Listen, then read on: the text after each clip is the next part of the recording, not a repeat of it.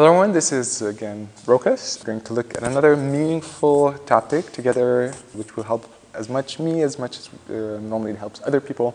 So I'm thrilled to be here again with you. Uh, also, before we start, I wanted to thank everyone for your support. So there's a few videos which are still planned to, to be uploaded. I'm filming these a bit quicker than I'm uploading.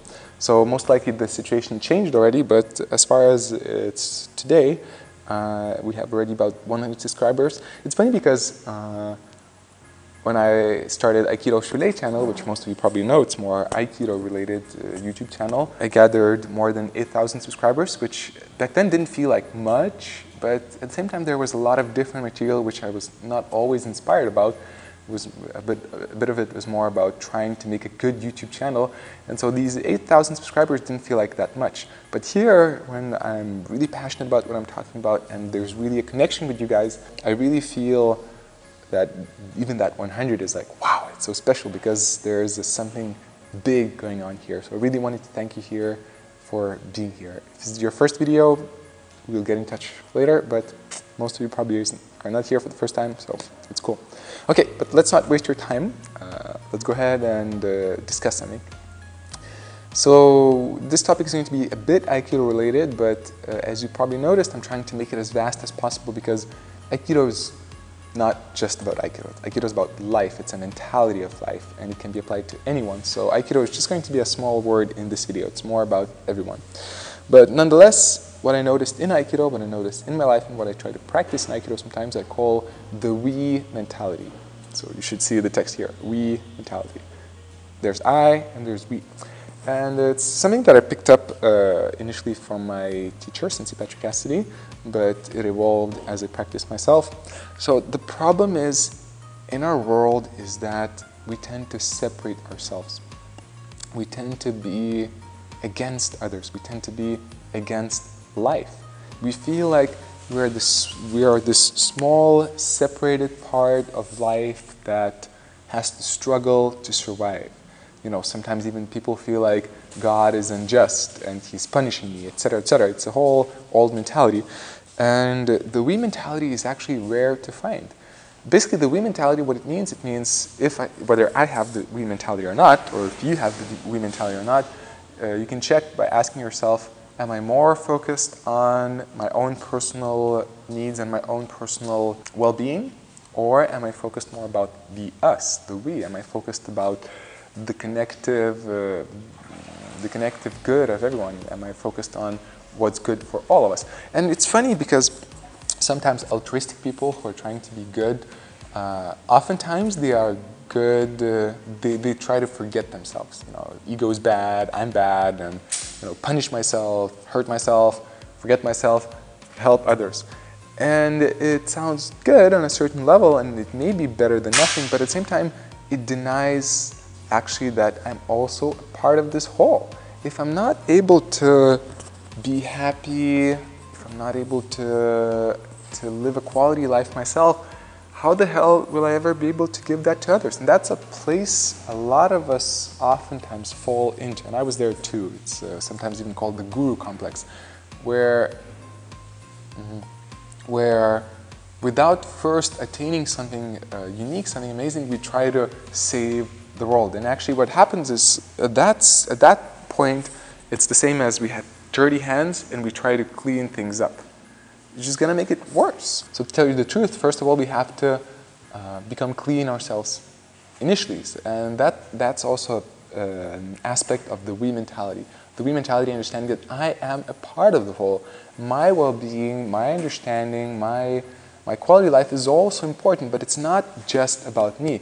And that's the point where most people get stuck. They're either on one side or the other. Even it's either all about me or it's all about others. And even, let me tell you the truth, even if you are a person of all about others or you know someone who's all about others, it actually has a tendency to be, it's, it's also most of the times just an ego expression. It's I am that one who sacrifices himself for others. I don't care about myself. It's a lot about me.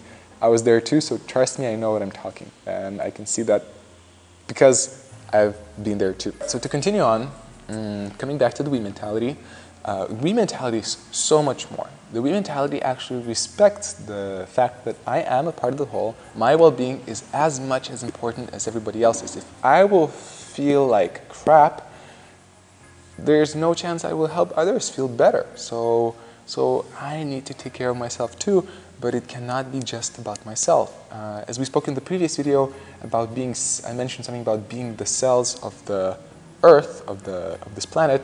It sounds a bit maybe cliche, but it's true. You know, we are all a part of this. We're all in the same boat, but so often we forget that. So often we feel like uh, life is just about me. So often we feel that I need to take care of myself first before I take care of others. But in the we mentality, when I, and the we mentality starts when I understand fully that I'm a part of the whole, that I have the right to be here as much as everyone else, and I have the responsibility to take care of myself as much as everyone else. That uh, we have to, whenever I ask myself whether I should do this or shouldn't do this, first of all, I should ask myself, okay, is this going to make is this going to benefit the whole? Is it going to benefit not only me, but others too? And if it's just about me, or if it's just about others, there's something there is going to be missing. So there's a lot more we could talk about here, and there's, there are principles about how to actually feel and understand uh, when are you referring to the we mentality, when it's the ego, and we are going to talk about that. And that's very cool, very special, helps me a lot myself but I don't want to put too much in one video. So we're going to stop here soon. But uh, to already make a point here to, to us think, just ask yourself, okay, so are you living in the me mentality or the we mentality? Is every decision, every action you take is first of all primarily based on what you want to do and what's good for you or just good for others? Or are you thinking about the whole? are you feeling as the part of the whole? Is your life about making the whole better, or is it just about winning against others to become better, which is too often the case? So again, I will not go far, I will not go too far here, we'll stop here, but think about it. Try to feel into it, and try to ask, try to ask yourself, how much are you into me mentality, how much are you into we mentality? And if you're very much into me mentality, just ask yourself, how can I become uh, more part of the we mentality? How can I benefit the whole? What can I do that will feel great to me and will feel good to others too?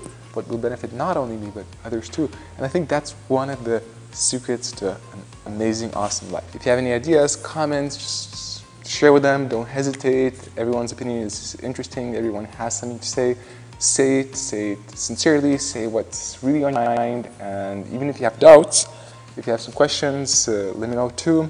I'm always open and happy to discuss with you. And so yeah, as always, life is short, so let's make it meaningful. And I'm Rokas, and I'll see you in the next video.